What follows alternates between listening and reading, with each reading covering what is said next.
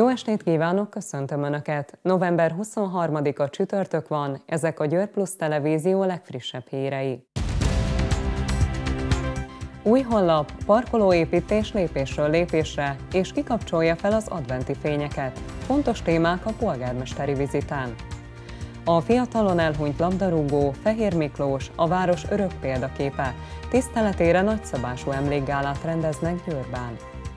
Tovább dübörög a színházi évad. Pénteken debütál a Buborékok, Kubik Anna és Csankó Zoltán főszereplésével.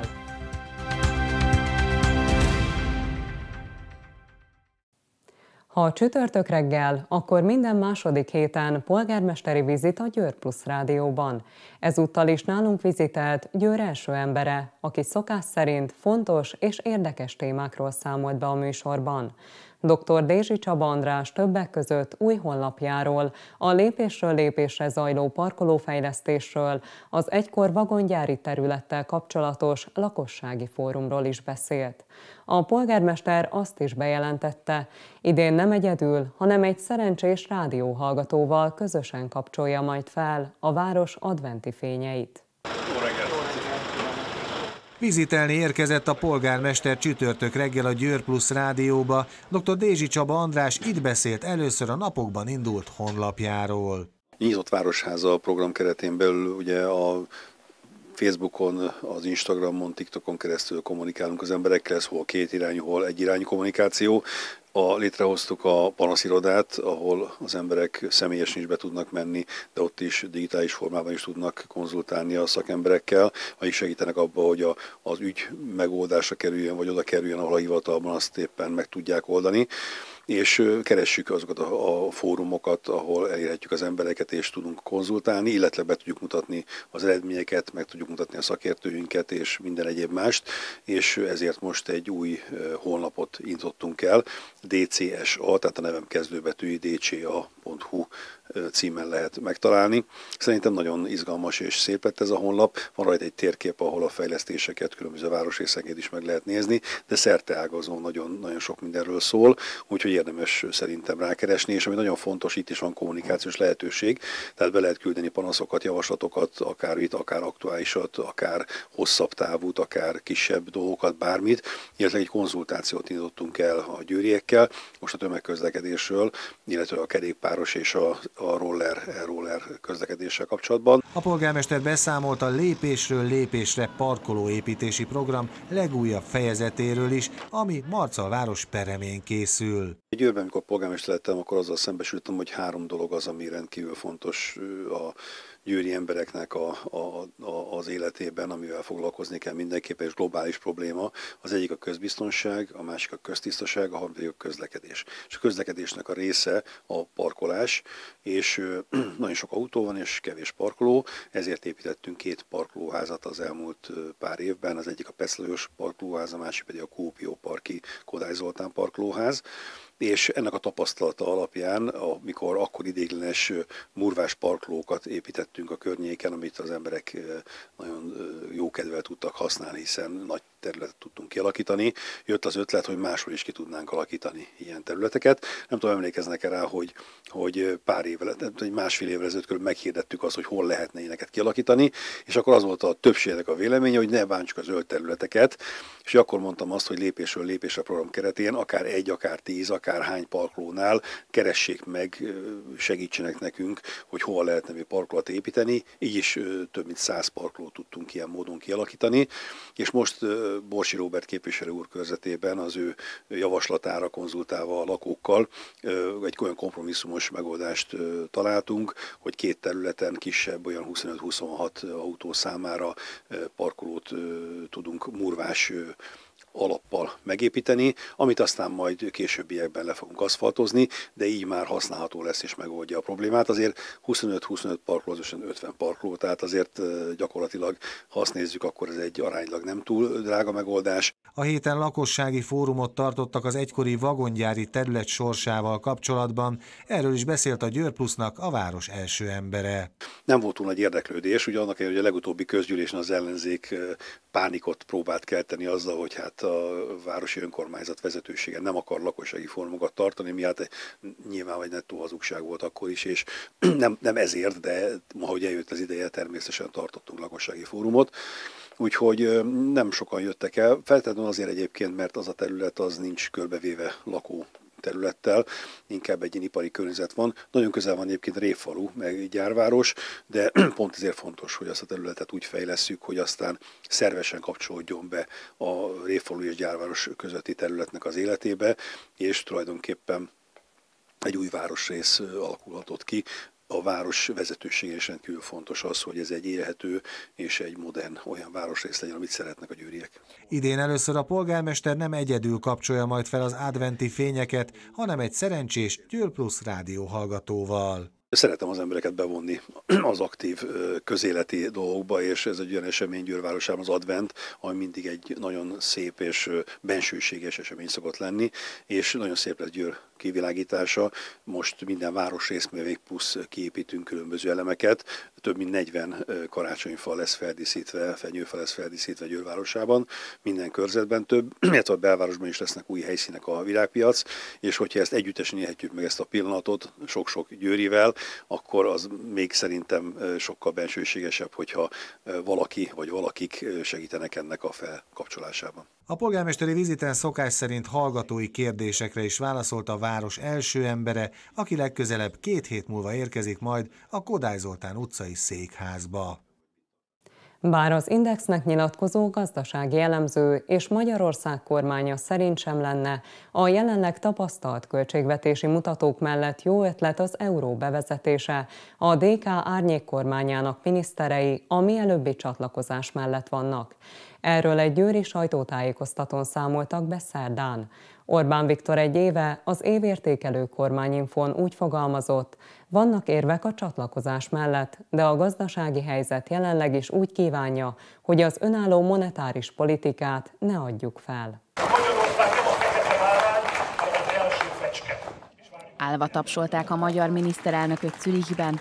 Orbán Viktor mindennapjai sok feladattal telnek. A napokban volt például a Fidesz kongresszus is, ahol arról is beszélt, sikerült például az inflációt egy számjegyűre csökkenteni. Ezt pedig a tavaly decemberi évértékelő kormányinfon tűzte ki célul, ahol arról is beszélt, van érv az euróvezethez való csatlakozás mellett. Van érv az euróhoz való csatlakozás mellett. De ezt az érvet én kisebbnek tartom annál, mint hogy az euróhoz való csatlakozás az elmúlt húsz évben személyesen is látott tapasztalataink szerint lelassítja a gazdasági növekedést. És itt van kéznyújtási vagy karnyújtási távolságra példa, amely ezt mutatja. Tehát szerintem, ha a magyar gazdaság növekedni akar és fel akar zárkózni, akkor jobb, ha az eurózónán kívül marad. Ha a stabilitás fontosabbnak tartja, mint a főzárkózást, akkor jobb, ha belép. De én azt javasolnám Magyarországnak, hogy a gyors főzárkózást tegye az első helyre. A miniszterelnök állításait az Index.hu-nak nyilatkozó szakértő is igazolta, aki úgy fogalmazott, a jelenleg tapasztalt költségvetési mutatók mellett nem lenne feltétlenül szerencsés az önálló monetáris politika feladása. A DK árnyék kormányának miniszterei azonban a mielőbbi csatlakozás mellett állnak. Erről beszéltek győri sajtótájékoztatójukon. Ez elemi érdekünk, a gazdaságnak az elemi érdeke, és valójában mindenki haszonélvezője lesz annak a folyamatnak, amelynek a végén Magyarország is az, euró, az eurót fogja használni. A DK árnyék minisztereit arról is kérdeztük, milyen hatással lenne az euró bevezetése az átlagemberekre.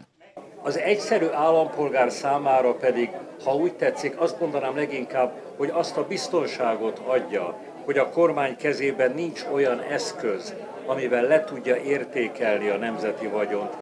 Arra, hogy milyen konkrét kézzelfogható gazdasági következményei lennének az euró övezethez való csatlakozásnak az átlagember mindennapi életében, nem kaptunk választ. De az biztos, hogy egy ilyen felelőtlen, meggondolatlan döntés sokakat sodorna veszélybe, hiszen azonnali áremelkedéseket vonna maga után, amit sok háztartás nem bírna el. Legendás labdarúgók részvételével december 17-én az Audi arénában tartják a Fehér Miklós emlékgálát. Erről csütörtökön sajtótájékoztatón számoltak be a szervezők a Győri Városházán. Az egykori etóikon csak nem 20 évvel ezelőtt hunyt el, emlékét pedig sokáig egy róla elnevezett emléktorna őrizte. Hét év után újra megszervezik az eseményt, ezúttal négy csapattal, teljesen új köntösben. Az eseményhez méltó körítést kapott a szerdai sajtótájékoztató. A Győri Városházán a polgármester jelentette be, 7 év szünet után újra sporteseménnyel emlékeznek a tragikusan fiatalon elhunyt Fehér Miklósra. Ezúttal azonban nem egy tornával, hanem egy nagyszabású emlékgála keretében, melyet december 17-én rendeznek az Audi arénában. Sport koncepcióban mi szeretnénk az Etó családot összehozni, egy minél jobb légkörű, a hagyományainkat, eredményeinket, legendás játékosainkat, az ő emléküket karbantartó, fenntartó eseménysorozatokkal, illetőleg egy olyan családdá formálni az Etó családot, ami Győrváros büszkesége, és szeretnénk azt, hogyha a szurkolók is összefogva együtt minden egyes olyan csapatnak szurkolnának, akik különböző ligákban Győrvárosát képviselik.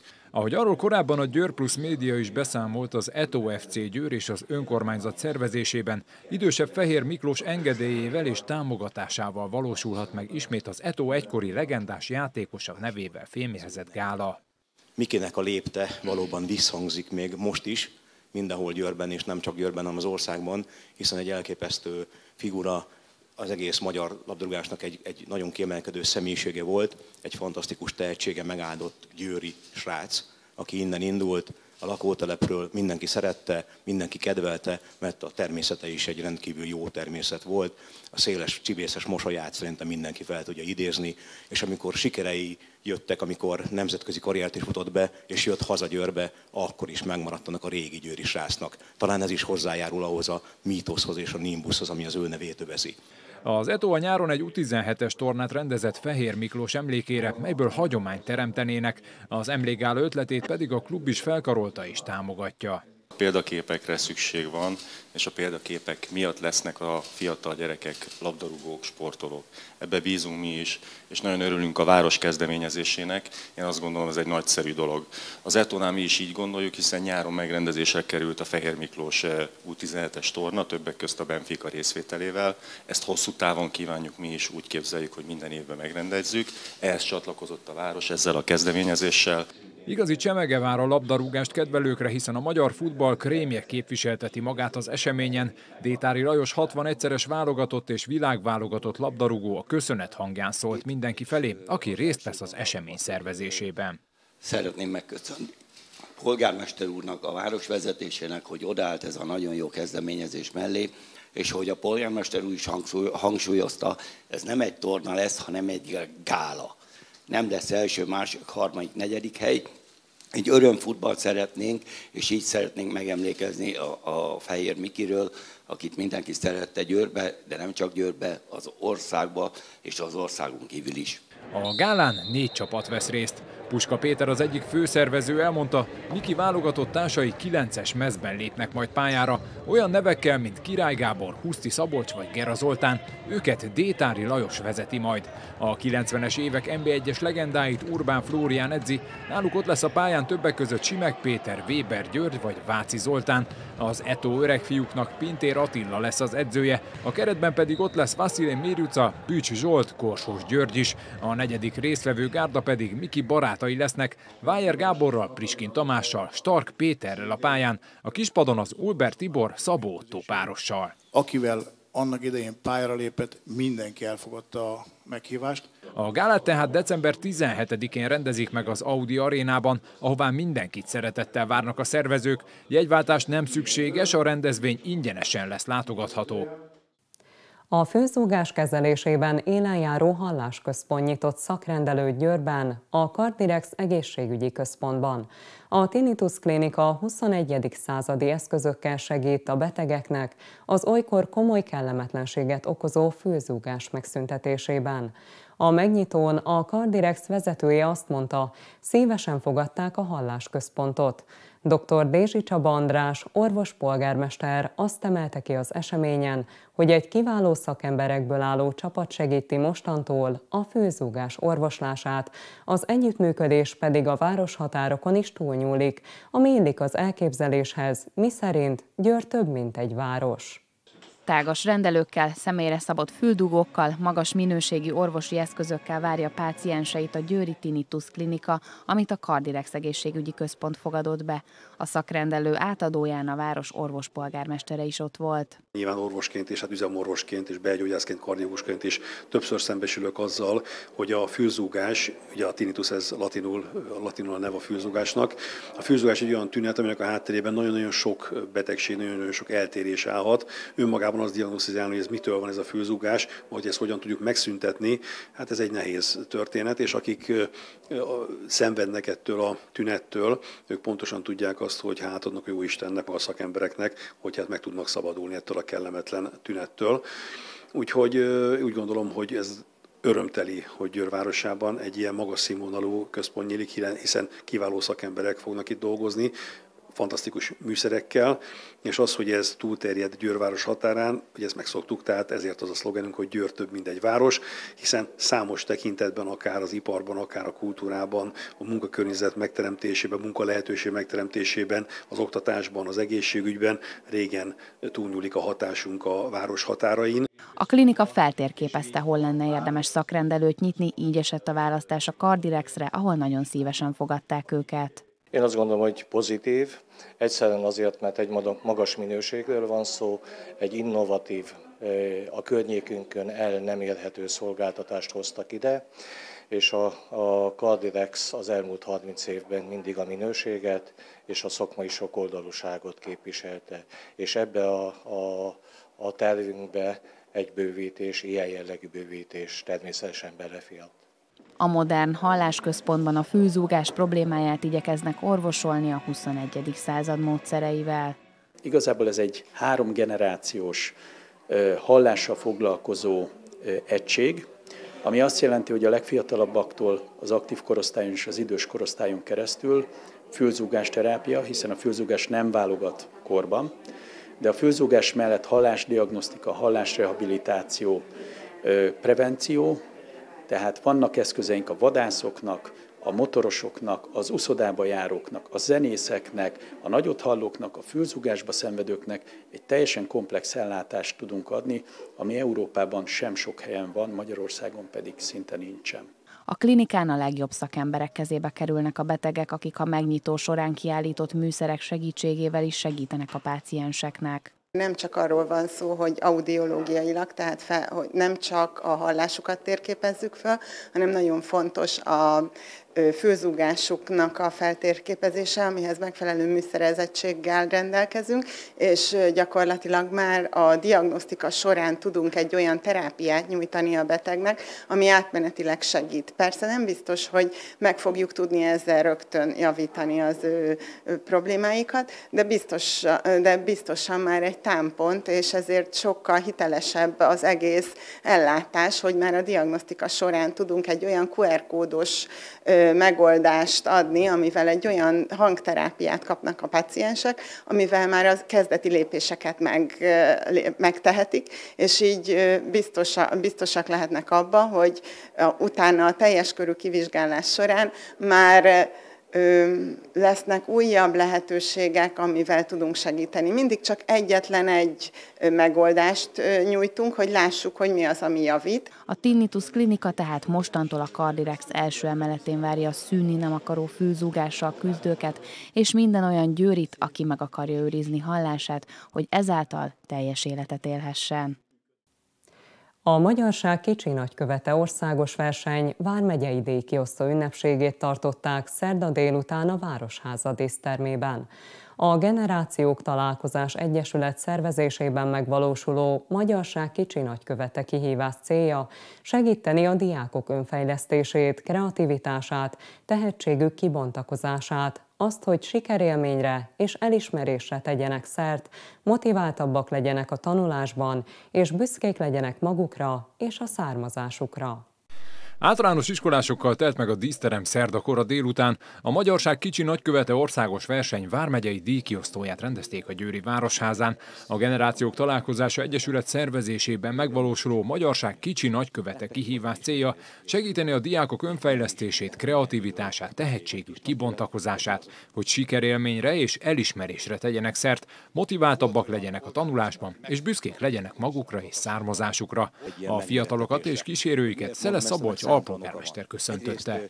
Mindig nehéz kijönni a saját komfortzónánkból. A mai világban különösen, én gyakorló apaként tudom, hogy van egy 12 éves kisfiam és egy 5 éves kislányom, és őket a mai világban, a mai világ ingerétől elmozdítani, a kütyüktől, meg a tévétől, meg a Playstation-től, meg minden mástól rendkívül nehéz, és rendkívül nehéz rábírni benneteket, a ti arra, hogy esetleg egy plusz tudásnak próbáljátok megmérettetni magatokat és plusz tudásra szertenni, pedig ez nagyon-nagyon fontos.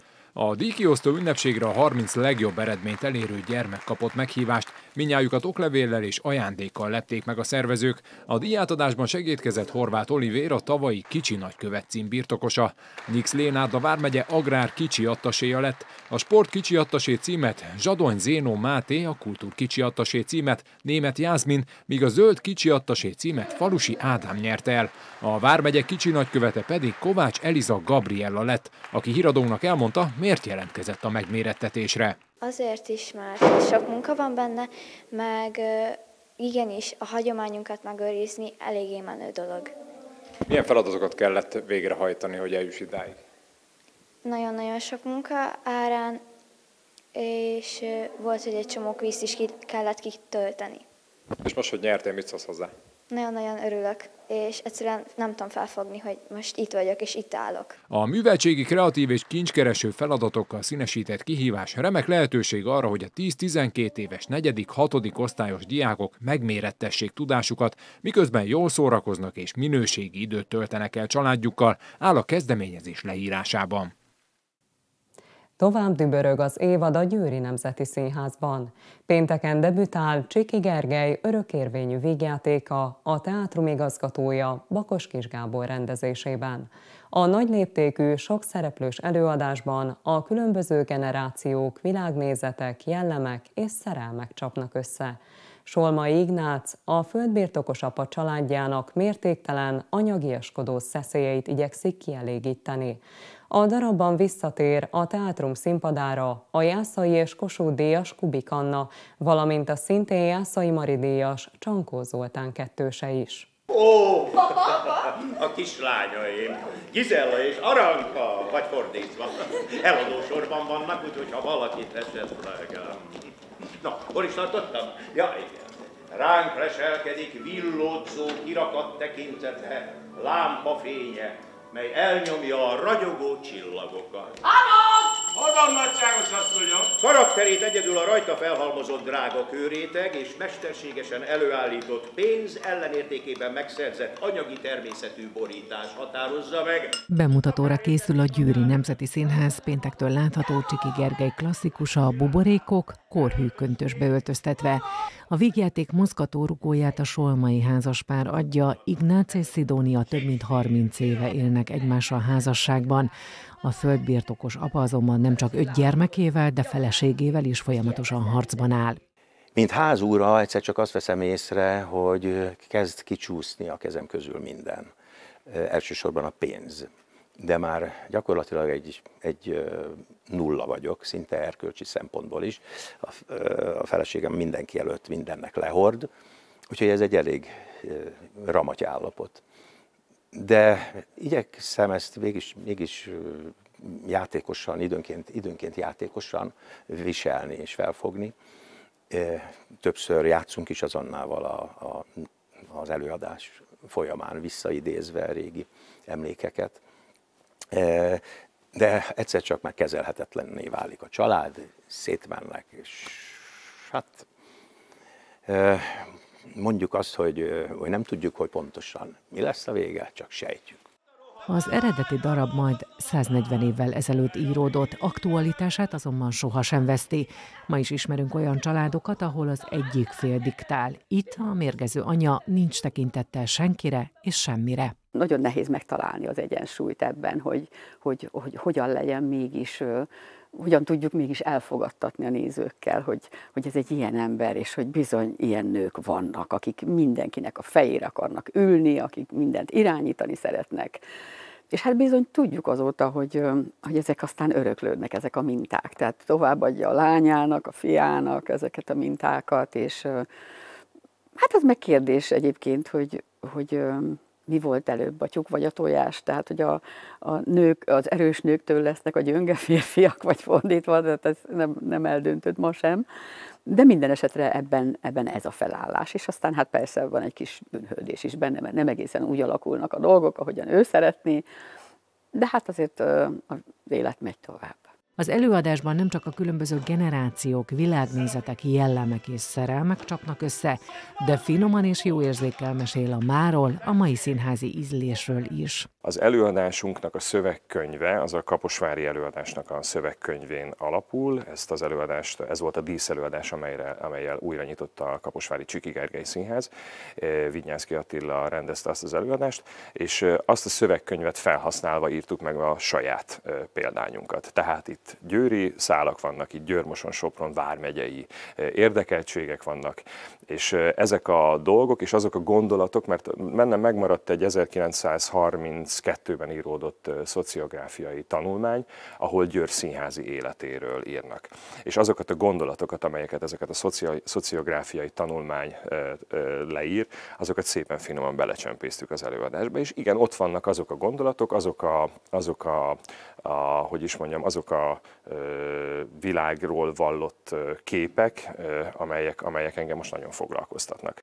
A győri buborékok előadásban Kossuth díjasok adnak egymásnak találkozót. A nagy léptékű produkció diszlettervezője ugyanis a Nemzetművészet címmel kitüntetett Kossuth és Jászai Mari díjas Székely László, akinek a bemutatóval egy időben nyílik kiállítása a Teátrum Csillár szintjén.